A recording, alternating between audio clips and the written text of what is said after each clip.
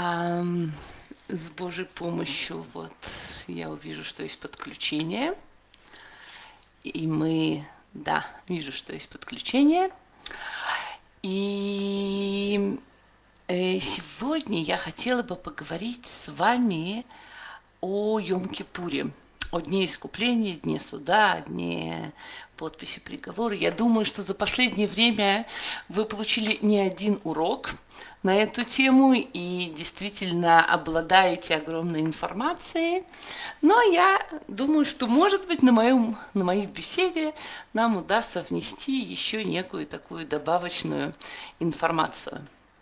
И я хочу рассказать, начать, во всяком случае, рассказать вам историю, которую я слышала от Рав Славутского. А во время войны Персидского залива. Тот, кто был в Израиле, скорее всего, помнит. Кто не был, для него это, может быть, прошло очень, так сказать, стороной. Но для тех, кто жил, это действительно было очень такое непростое, серьезное время. Так вот, во время этой самой войны спросили генерала американской армии. Вот если был такой генерал по фамилии Шварцкоп, э, главнокомандующий, и вот спросили его, если ты поймаешь Бен Ладена или Адам Хусейна, Депр, привет, Что ты будешь делать с ними? Что ты с ними будешь делать? Простишь ли их ты или будешь их судить? На что этот главнокомандующий ответил. Смотрите, у каждого в этом мире есть свои а, обязанности. Мои обязанности – это организовать э, им встречу с Всевышним. Да, это моя обязанность. А уж что там Всевышний решит, это его решение и обязанности. Да?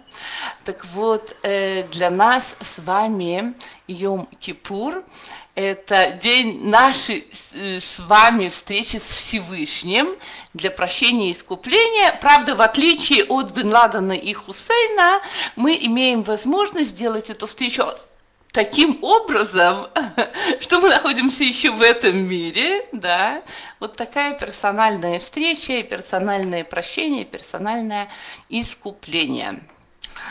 И если посторонний человек спрашивает, что же это такое за день Йом-Кипур, то обычно есть несколько сортов ответа, но самые распространенные – что тот, кто, кстати, знает, может написать, что это, да. Э, так вот, э, самые распространенные ответы про Йом-Кипур, что это день подписания приговора, чтобы мы были записаны, и приговор был подписан. Записаны в соответствующую книгу, у каждого есть свои пожелания, этих книг, как я на прошлом уроке говорила, пять, да. Э, каждый хочет в свою или во все мы хотим вот в хорошие пять, да, есть пять хороших и есть пять, наоборот, в другую сторону. Ну и вот, поскольку я про это говорю, я хочу пожелать каждому из вас действительно получить самый хороший приговор для него. Это и здоровье, это и радость, это и изобилие, и счастье. Вот каждый, да, чтобы получил именно то, что ему надо. А если мы будем говорить про второй вариант ответа, который тоже чаще дается, что это день, то, что называется Йом Слиха Вамахила, день прощения.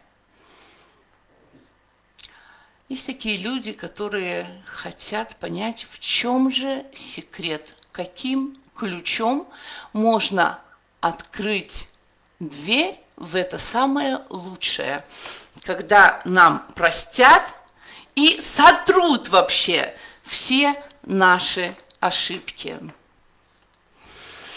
Наверное, в поисках этого самого ключа мы с вами сегодня будем много спрашивать и стараться получать ответы. Хочу напомнить вам, что я женщина, да, и вот вопрос, который мы будем рассматривать, надо видеть именно в этой призме. То есть, да, я не равин, Поэтому сослаться, а вот Мирьям Портной сказала вот такой вот закон, вот так вот, вот так вот, вот так вот, я вам даю общую информацию, я вам даю информацию для размышления, для принятия каждой для себя, может быть, каких-то правильных решений. Тем не менее, аллахические ответы – это всегда, конечно, только кровину. И вот через несколько дней мы с вами, каждый из нас, предстанем перед Всевышним. И, наверное, со многих сторон вы уже слышали, как к этому надо готовиться, да, что надо успеть раскаяться, сделать шувы, дать сдаку, купить петуха, покрутить над головой, да. Каждый из вас наверняка получил уже много разной информации. Но вот сущностный вопрос. Как и почему вам кажется, работает то, что вот работает в Йом-Кипур? Да? Когда мы с вами, кстати, урок этот сегодня у нас займет немножко, может быть, чуть больше времени, и предстоит а, каждому, кто действительно хочет дойти до какого-то понятия, немножко поучаствовать в нем и ответами, и неким таким размышлением, раздумием и так далее. Да? А, когда мы с вами говорим о чуве, да, есть люди, для которых это понятие вообще в принципе неприемлемо. Что значит сделать шуву? Что такое чува, да? Кто-то из вас может объяснить вообще своими словами, что это такое чува? И почему вообще есть люди, для которых это понятие вообще ни о чем не говорит? Да, вот я вижу из разных приговор в любви. Окей, замечательно. Но вот э, именно э, ответ на то, что такое чува, я тут не вижу. Еще раз э, скажу, что есть люди, для которых это понятие вообще ни о чем не говорит. Они не понимают, что это такое, да. И надо сказать, что... Добрый вечер. Надо сказать, что если бы чува вещь была такой простой и такой понятной логическому мышлению, то эту вещь чуву, да, могли бы делать абсолютно все и абсолютно каждый. И вот первая проблема, которую, наверное, выдвигает э, часть людей, да, это невозможно поверить в том, что есть возможность стереть или уничтожить наше прошлое. То есть наши плохие поступки, наши плохие слова, наши дела. Э, у кого-нибудь удалось уни... покаяние, да, но кого-нибудь удалось уничтожить и стереть а, все то, что было. Татьяна, добрый вечер. Чува, возвращение к Богу. В принципе, то есть перевод слов, как перевод, это правильно, да?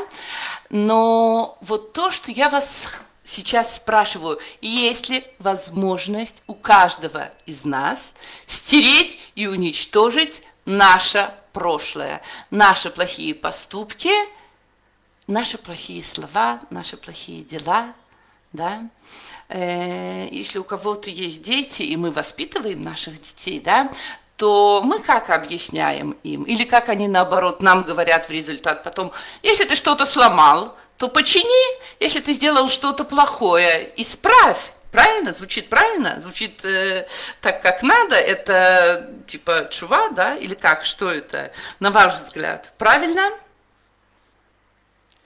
Но как мы можем исправить то, что мы натворили в этом мире перед Всевышним?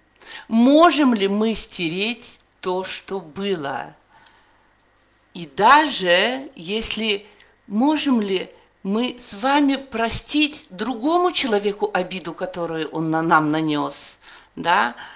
Можем ли мы с вами сказать, что окей, то, что ты сделал мне, все, этого не было. Может быть, сказать мы и можем, но останется ли у нас внутри с вами некое вот это, не то что даже обида, вроде бы мы обиду простили, но вот это внутреннее чувство, да, которое, что вот что-то все-таки в этом мире изменилось после э, некого слова или нанесенного действия или поступка.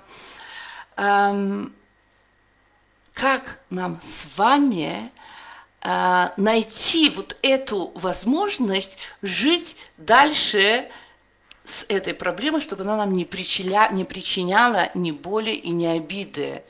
Да?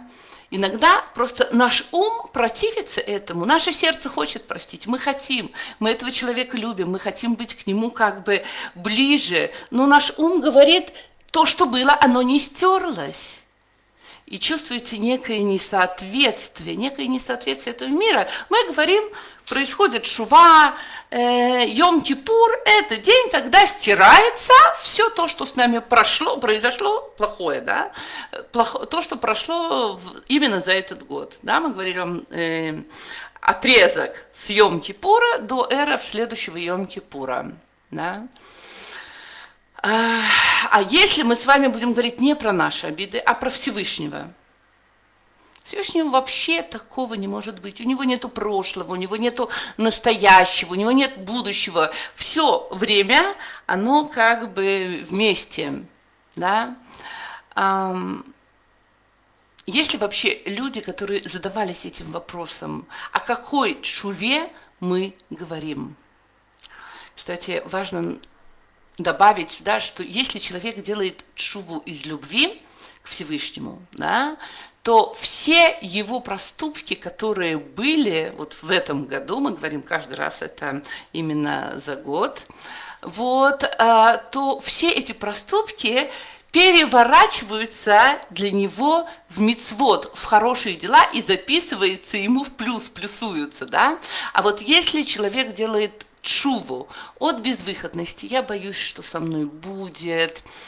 Эм, ну, вот просто написано, сказано, что надо вот продумать, я сяду, подумаю, действительно это надо сделать, может быть, вот что-то мне станет лучше в следующем году от этого, то вот именно такая чува не засчитывается ему, и мало того, на протяжении вот всего целого года она висит на нем тяжелым грузом.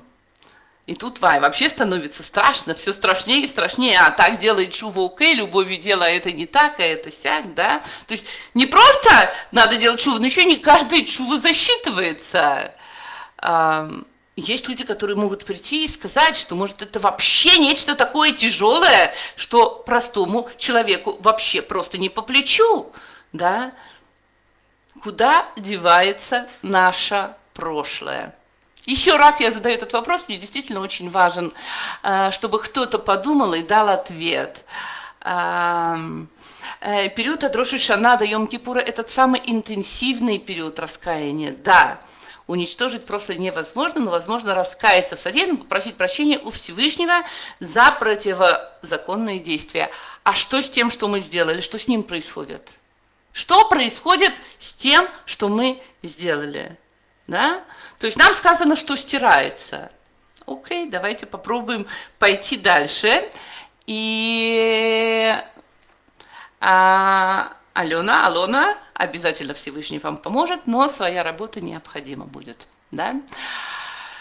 Э, что я вам хочу сказать? Может быть, вы обращали внимание, я буду говорить про детей, но понятно, что э, каждый может это перевести и на себя, что когда нашим детям плохо или неуютно где-то, скажем, да, скажем, он учится в школе, его дразнят дети, у него плохие отношения с учительницей, плохие оценки, да, но вместо того, чтобы научиться исправлять ситуацию, дети часто просят, чтобы их перевели в другую школу. Э, надо сказать, что в отношении между мужем и женой иногда тоже бывает некое большое напряжение, и вместо того, чтобы искать дороги примирения, люди торопятся развестись, потому что им кажется, что начав жизнь с чистого листа, без тяжелых прошлых воспоминаний, все будет по-другому. Да? А, а, считаете ли вы это правильным, правильной дорогой, правильным поступком. А, вот, если бы с нами лицо в лицо, вот так вот встретился Всевышний. И мы бы увидели, как он э, берет в руку махак. Махак – это вот то, чем стирают, да, я забыла, как это сказать. Ну, тряпочка, которую вот с доски э, стирают, а тут вот я имею в виду в нашей жизни, а, стирают все наши плохие поступки. То, может быть, мы с вами, с вами могли бы в это поверить и сказать, окей, то, что со мной было, оно стерто, оно ушло, теперь я другой человек. Но, к сожалению, или к радости, я не знаю, так построен мир, мы этого не видим. Да? Продолжение того, о чем я говорю, это то, что мы с вами живем в мире, где один поступок выходит из другого, одно выходит из другого. А, и мы живем с вами в мире, где для всех наших поступков есть какая-то а, себя, да?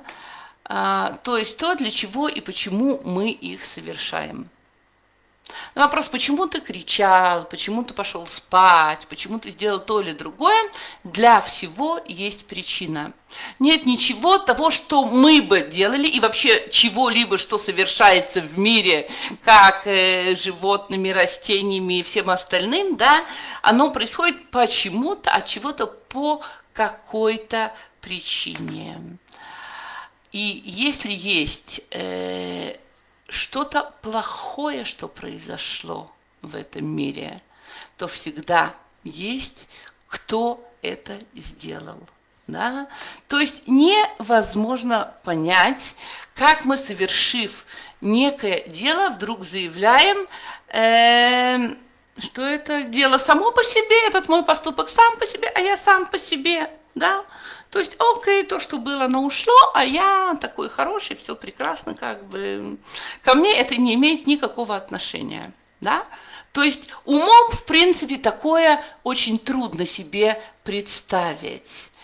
То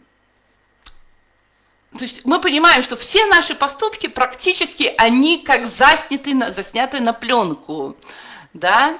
Но, тем не менее, я говорю, я сделал чуву, и все, этого уже нету. Ко мне это не имеет никакого отношения. Согласны с этим? Можно ли такое принять? Есть такое? А, Татьяна, вы правильно написали, в принципе, мы к этому придем, определение того, что человек в своей жизни движется по какому-то вектору, и раскание позволяет остановить движение, изменить вектор мысли и действий, это очень правильный подход. Да? А, хочу сказать, мы дойдем до этого обязательно. А, иногда мы слышим про некого человека. Вот этот человек грешник. Он сделал очень много плохих поступков. Он воровал, убивал, он делал очень много чего плохого, очень много зла принес в этот мир. Да? Но спрашивая порой раввинов, почему при этом этот человек живет так хорошо, мы можем иногда получить ответ, что ну, он получит свое наказание в будущем мире. И, конечно, иногда нам это очень сложно принять э, разумом, но все-таки есть какое-то что-то, что э, нас удовлетворяет э, в этом объяснении. В отличие от этого высказывания, то, что говорится, что Йом Кипур просто стирает все то плохое, что было. Вот это высказывание, оно ставит нас или часть из нас а, в некую ситуацию непонимания и, может быть, даже неприятия. Да? Написано в Туре, что будет с человеком, который согрешил – есть ответ. Есть ответ. Он должен принести курбан, жертву, и ему все сотрется. Ну, понятно, что жертвы были возможны только в храме. Сейчас, может быть, есть некая другая дорога, которая называется молитвами. Ну, вот э, э, есть некая вещь, которая часть людей может вогнать даже в какой-то э, дикаон и показать им, что э, у них нет дороги назад, у них нет шува. Может прийти человек и сказать, я сделал так много плохого, я так погрузился в развод, я так погрузился в воровство, что я уже не вижу, что у меня есть дорога вернуться, Всевышний меня не примет вот со всем моим вот этим мешочком моих а, не самых правильных, не самых хороших действий. Я просто не смогу в корне э, изменить себя, изменить свою жизнь. И такие люди могут опустить э, руки. Вот после столь вот таких страшных, я бы сказала, нагнетающих слов, да, я хочу потихонечку найти, на, начать переходить эм, к тому, что попытаемся хотя бы разобраться с частью тех вопросов, которые я задала. И опять же ответ вот э, Татьяны, он тоже очень как бы интересен. А Раби Ицхак в Масехит Роша Шана дает вот нам некоторые ответы. Не судят человека за его дела – а только за то, что с ним происходит именно в этот час, и имеется в виду тот самый час, когда идет суд. И тут я вам приведу пример, чтобы вы поняли, о чем идет речь. А, приводится в пример Агарь, когда ее Авраама Вину выгнал и она ушла со своим сыном и, в общем, осталась практически одна с ним в пустыне. И настала невероятная жара. Агарь положила своего сына под куст, так как она не могла видеть, что ее сын умирает в мучениях от жажды. И тогда, так написано, взмолился Ишмаэль и услышал его Всевышний. Спрашивается, а что Всевышний мог его не услышать? Да?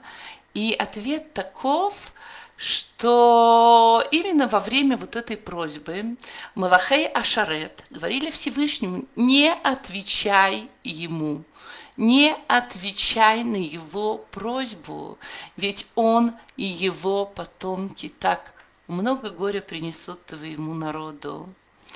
Но Всевышний ответил отказом ангелам. Он сказал, что нельзя осуждать за то, что потом случится. Да? И э, вот в продолжении этого то, о чем говорит Раби Ицхак в Гмаре Масахит Рошашана, да, э, это о том, что четыре вещи, и тот, кто действительно а, готовится хорошо к Йом-Кипуру, я думаю, что ему важно это услышать. Четыре вещи могут изменить нам приговор. Как до его вынесения, так и после. Да? Четыре вещи, которые в любой временной момент и в сам Йом-Кипур, и до Йом-Кипура, и после Йом-Кипура могут изменить наш приговор. Итак, первое – это цдака, это милостыня. Второе – это цаака, молитва о просьбе помилования. Третье – это шинуй шем, изменение имени. Четвертое – это массе, действие, доброе дело. И давайте попробуем чуть больше понять, о чем же идет речь. Э, речь идет именно о Гзардине, да, о суде, о вынесении приговора, который дается нам или в Рошашана, или в Йом-Кипур. Да? То есть вот эти четыре действия, они, конечно, соотносятся к Рошашане и к Йом-Кипуру, но, как я вам сказала, они работают и до, и после, и во время, и всегда. Да? Можно задать вопрос, и как же эти действия могут изменить приговор? И тот, кто нам это объясняет, объясняет нам это мораль из Праги. Он объясняет так. Вот представьте себе, что вы находитесь в некой комнате, и вам сказали очень внимательно на нее посмотреть и запомнить все, что там находится. Да, это часто принято, и такие еще буквально в детском садике, посмотрите на, пред, на пять предметов тут, скажите, так же выглядит или так далее. И вот через месяц вы опять попадаете в эту комнату, где успели вынуть из складки один из камней или несколько камней и заменили его другим. И вот вас спрашивают, в той же ли комнате вы находитесь? Вы смотрите, и она совершенно идентична тому, что вы видели. И вы говорите, да, это та же самая комната. Но вам говорят, нет, это уже не та же самая комната. Мы здесь поменяли кладку. Может быть, немножко сложно понять, да, но мораль из Праги именно к этому описываемому случаю говорит так, что дин прута, как дин меа. Да? А, если заменен один камень, то это как будто все строение поменяло свое сущностное значение. Его сущность стала другой. Это совершенно не то же самое, потому что вот в протоколе написано столько-то камней, столько-то камней, столько-то песка, столько-то того, столько-то всего, и именно такого. А тут поставили камень другого типа. И если мы начинаем проверять, из чего построена эта комната, то оказывается, что это не то же самое, что было месяц назад. Не, может быть, даже немножко не совсем то, что было в чертежах. Да? Или, например, мы поменяем мотор в машине. И кто-то говорит, о, это уже совсем другая машина, да, уже совсем по-другому ездит, совсем другая машина. Но это ведь не другая машина или другая машина, да? Вот э, тут надо понять этот как бы... А, и именно мораль говорит о том, что именно об этом говорит э, Раби Ицхак э, в Масахе Троша Шана что меняет человека и делает его совсем другим человеком. Если человек может поменять одно из составляющих его личности, то он становится совсем другим человеком. Мораль говорит, что что такое вообще человек? Это сочетание двух частей – душа и тело, правильно, по идее. А, но мораль добавляет, что есть еще одна часть, без которой человек не человек. И что это? Это всего лишь деньги. Это то, что соединяет душу и тело. Если не будет на что содержать тело, то душа не сможет там остаться. Но если человек меняет одну из вышеперечисленных вещей, да, вот четыре вещи, которые я вам сказала, а, то он становится другим человеком. И когда ангелы, которые приходят сюда наказать, ангелы-наказатели, да, начинают искать человека, которому присудили то или иное наказание, они просто не могут его найти да, потому что это был совсем другой человек. Своим поступком он изменил свое сущностное как бы существование, он стал другим человеком. Итак, мы с вами напомним, что цаакой, криком или молитвом, молитвы, может быть, вы слышали, что часто в Йом-Кипур люди молятся очень громко, от всего сердца, от всей души, да, и не знаю, есть люди, которые меня спрашивали, зачем они так кричат? Ведь вот написано про молитву Халы, что она молилась тихо. Нет, вот про Йом Кипур написано, что цаака, вот эта молитва от души, она меняет э, часть его души. То есть вот этой молитвой, этой цакой человек может изменить свою душу. Цдака или хороший поступок, они меняют материальное тело, да, а имя, как вы знаете, оно меняет судьбу. А, говорится в молитве, да, то, что мы с вами читаем в Йом-Кипур, э, чуват, фила и цдака, маверим этроа акзера, то есть раскаяние, молитва и благотворительность отменяют плохой приговор. Есть еще один важный вопрос, который как бы рассматривает Рабицак, и он отвечает тоже на часть вопросов, которые я уже задала, и тем, кому интересно, и кто, у кого еще есть силы это слушать, наверное, стоит про это поговорить. Стерли ли мы наш предыдущий плохой поступок? Окей, мы сделали чуву, мы как бы сделали хороший поступок, как написала Татьяна, появился новый вектор, мы стали некой другой личностью, неким другим человеком. Что остается с тем, что мы сделали до этого? Наши плохие поступки. Так вот, Раби Ицхак отвечает, что ничего не стирается.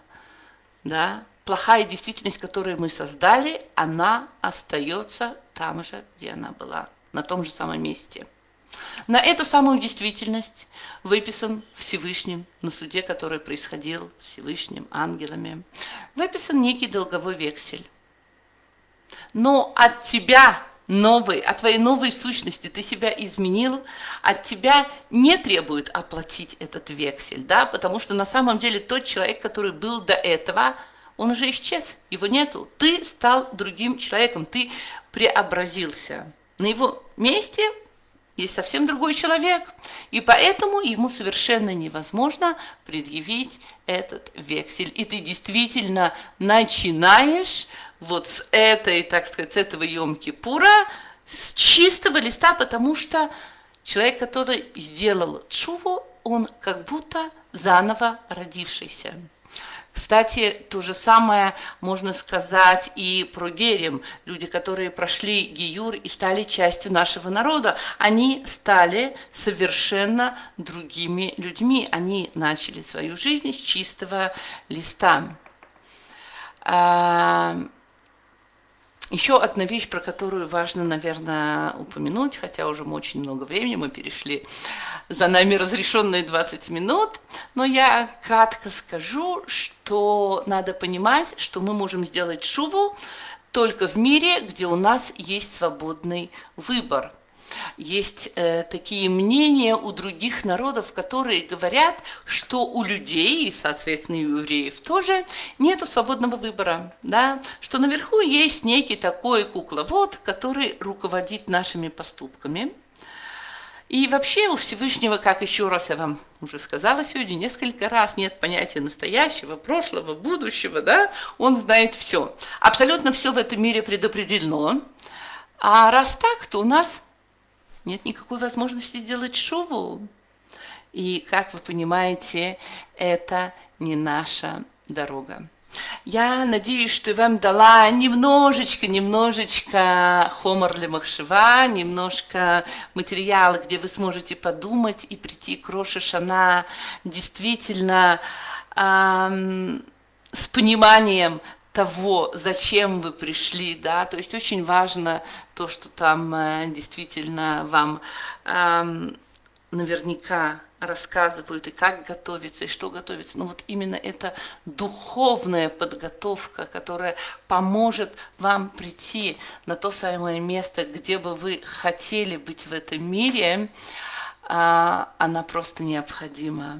Еще раз Шана Това и Гмар Хатима и каждому из вас желаю стать э, самым лучшим человеком, самым лучшим евреем и выполнять заповеди с любовью к Всевышнему. Всего хорошего.